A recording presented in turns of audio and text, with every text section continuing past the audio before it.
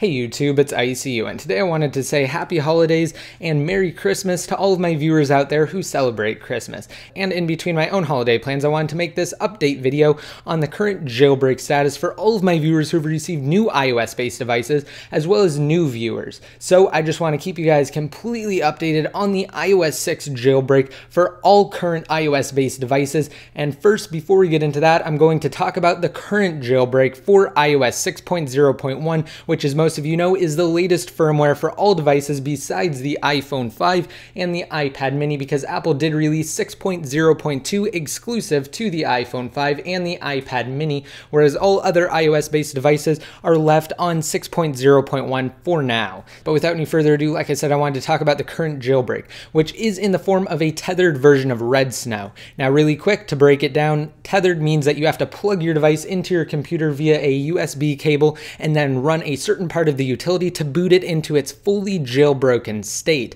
whereas an untethered jailbreak means you can simply jailbreak it and reboot it without having to worry about plugging it into your computer if it dies or if you need to reboot it. So the current jailbreak right now for 6.0.1 as well as iOS 6 is in the form of a tethered Redsn0w jailbreak for only the iPhone 4, the iPhone 3GS, and the fourth generation iPod Touch. So only three iOS based devices have a jailbreak right now.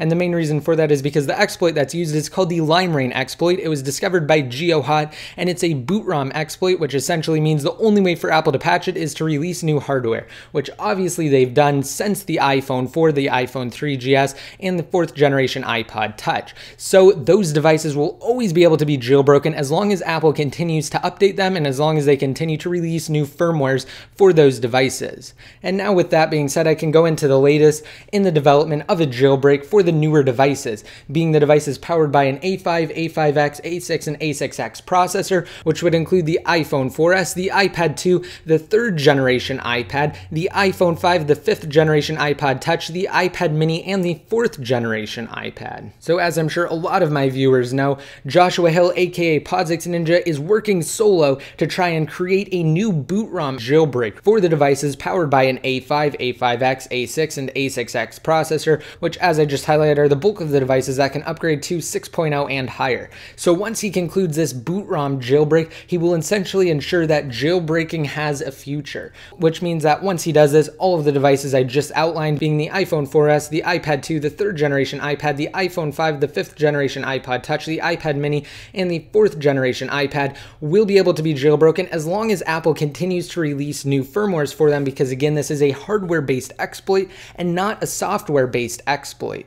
Also, wanted to answer a question I get asked a lot. So, most of the popular iOS developers and hackers actually send out pictures of their jailbroken iOS devices with Cydia and the newer iOS devices. And that's why they can't release a jailbreak for those devices and why they haven't tweeted out pictures of older devices. Well, essentially, that's because they've already jailbroken those devices and they just wanted to show what they can do by tweeting out a picture of something like an iPhone 5 jailbroken, because obviously that's a greater accomplishment. And if they can jailbreak the iPhone 5 on the firmware, then that means means they can jailbreak the iPad 2 or the iPhone 4S or something like that, at least in theory. So that's essentially why they do that. Again, like I said, there currently isn't a jailbreak for the newer iOS devices, just the iPhone 4, iPhone 3GS, and the fourth generation iPod Touch. So don't let anybody fool you. The only official jailbreak should either come from the iPhone dev team or the Chronic dev team. Also, for all of you iPhone 5 and iPad mini users on 6.0.2, as I stated in one of my more recent videos, unfortunately, there won't really be a jailbreak for you. They're most likely going to wait till iOS 6.1 to push out a jailbreak because again, only two devices were upgraded to 6.0.2, so they're going to wait for that.